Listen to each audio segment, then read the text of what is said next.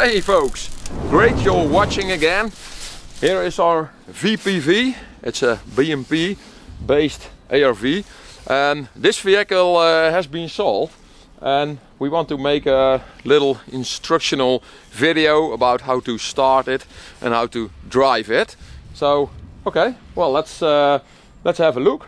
I have the GoPro over there because it's pretty cramped inside the vehicle so it's hard to film it with that camera. Uh, okay, well let's take a look. It has a 15.8 liter V6 diesel. Um, it's located in the front next to, uh, to the driver there. The gearbox is in front and the um, well over there are the sprockets so it has the complete drivetrain in the front and it was uh, spe special for this design because they had the uh, entrance in the back so they well they were designed for transporting troops pretty quickly to the battlefield. It's like a battle taxi. So uh, they have the drive line in the front so they had the doors in the back. And if you have a vehicle like that it has the engine in the back and also the complete drive line in the back. So okay well let's get to the point and let's get it started. And I'll show you how it uh, how it works. Well, and if you want to know more about this vehicle, we have plenty of videos about it. Also about the restoration process of the engine. We took it apart and uh, mounted a lot of new parts and have it tested as well. So, okay.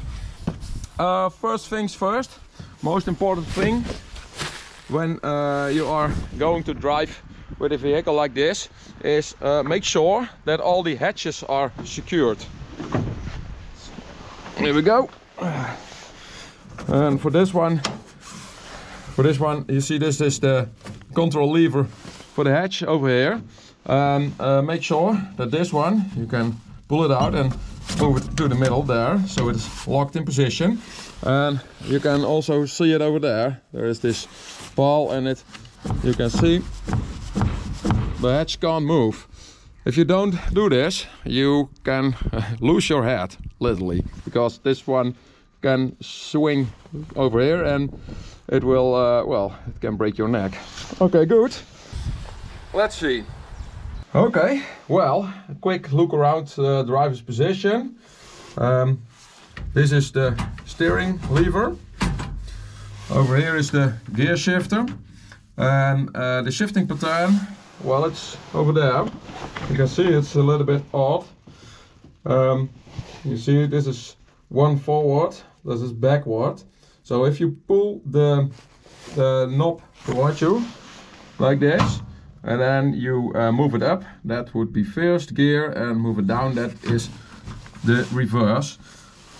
Okay, well and then there are, well the, the shifting pattern is a little bit odd. You see that's first gear, and then you go there, that's second, third gear, down, you see is uh, 4 and 5 so that's a little bit odd but you will get used to it. Okay well then there is another gear uh, shifter lever and this is uh, this is this one. Um, what this one does uh, you can use this for taking off in second gear. It um, activates the reductions which are used for steering. Um, the steering lever for example if you uh, pull it um, to the first, you, you will notice there are like uh, two positions. So this is first position, this is the second position, and this is also for the right side, of course. Um, what happens if you pull it to first position? Um, the left track is uh, slowed down. Um, um transfer case is uh, activated, or a, reduction is activated. That's the correct name for it. Uh, for steering, if you do this, then the left track will uh, stop, so it will do a pivot turn. Okay, well, this thing said, if you put this one down, you will activate, you can see, you will activate both um, reductions on both sides. So the vehicle will, um, well, move not that fast, so you can, uh, you can take off in second gear. Well then, if you put this over there, then it will shift up. So it's like an extra, well, extra gear. So that's that's uh, that's easy for taking off. That uh, that this, well, if you want to do a race, then this is excellent. That's uh, about the levers. Then of course there are uh, pedals and it's the same as just a manual car. I uh, try to illuminate it for you.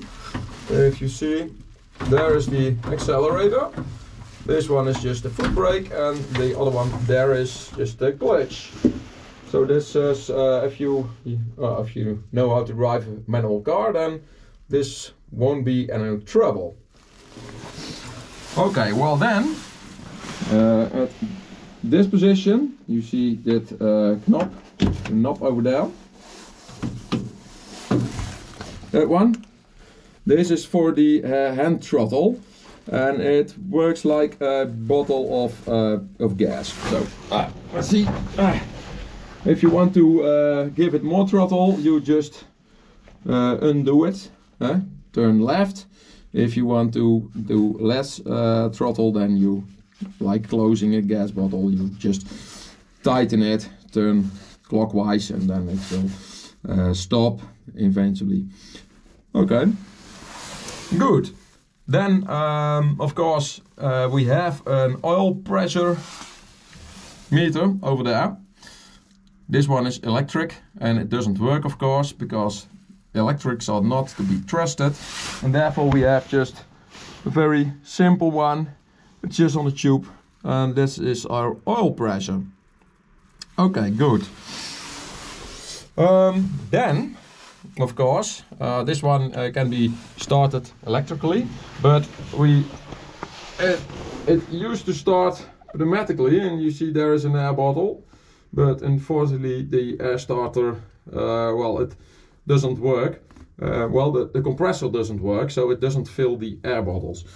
Um, still, this vehicle can be started pneumatically, and therefore we have this this hose running over here. And if you take it out, then you see the end. Uh, you can just uh, connect an air bottle over here, and then if you well put uh, pressure on this tube on this uh, hose, then it, you can start the engine pneumatically. Well, that's about it. Um, then before starting, it's also important to open the fuel uh, tap. That's over there. And it is in open position. You can push this one and move it forward like that. Now it is closed and now it is opened. Okay, Good. Fuel level can be checked in the back. You see the tank in the middle there. That is the, uh, the main fuel tank. There are also fuel tanks on the sides. It runs on diesel.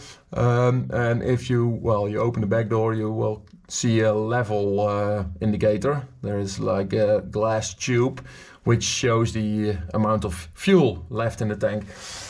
Okay, we're not gonna look at that right now because I think that is all it speaks for itself all right. Well let's get it uh, started then. Okay well good. Starting procedure um, what you want to do first is um, you are going to give it some throttle. So turn this one counterclockwise till you uh, well till it blocks. Now it is uh, like uh, well it's not full throttle but enough for starting. Then the main breaker switch uh, is this one. It also has a 1 above it written. um, flip that one uh, upward and now you can see, uh, well lights are uh, illuminated so we have power. Then there is the uh, primer for the uh, fuel. Let's see if I can uh, that's better, yes. The primer for the fuel, that's the one with the two over there. You can flip it. And now you hear the uh, fuel pump uh, running. Then, starting um, first thing is uh, give it some oil. This is uh, priming oil. There we go. And what you want to do is check the gauge over here and wait till there's oil pressure. Well, and now we're good to start. Can uh, switch down the primer uh, the the fuel primer. It's not necessary. Um, okay, it's free. It's neutral. That's good. This is the starting button. Um, okay, well there we go. Let's give it a little bit more oil. Okay, good. There we go. A little bit more throttle and start it.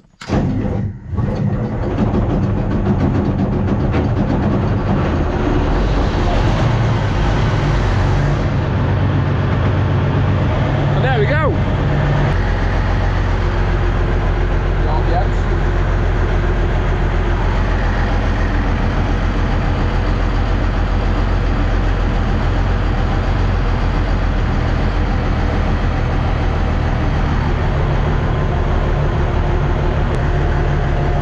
It's always important to check the oil pressure, of course. If uh, you see oil pressure drop in, immediately switch off the engine. But uh, well, if the oil pressure is of, uh, if the if the oil uh, is on level, well, it shouldn't be any trouble. It's important to let uh, the engine warm up a little bit.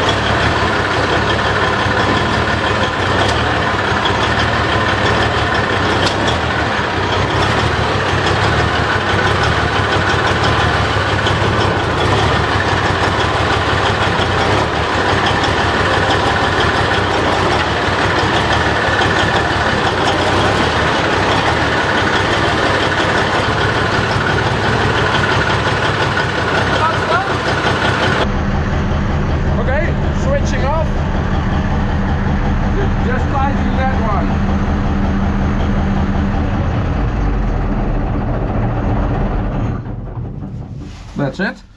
And then the main breaker over there. And you're good. Great success. That's it. Yeah.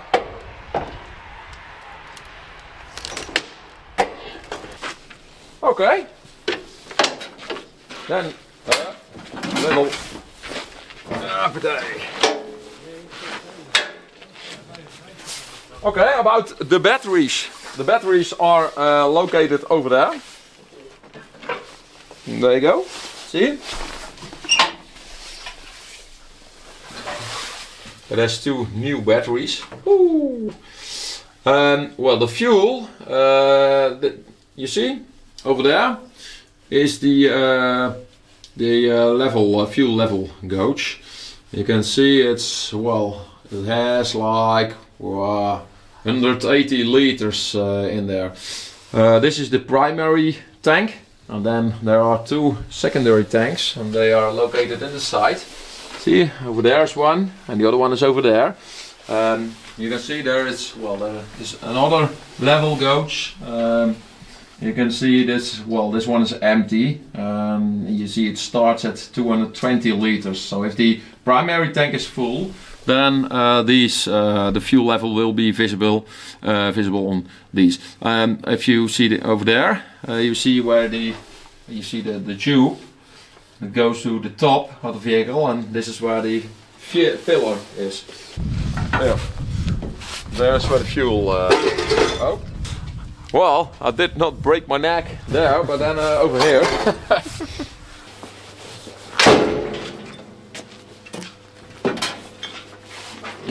so.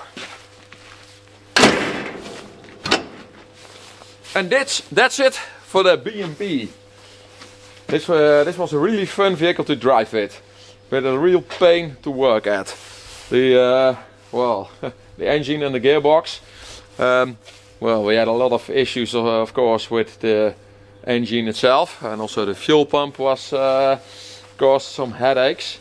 Um, well, and then of course, fitting the engine and the gearbox is also not that nice.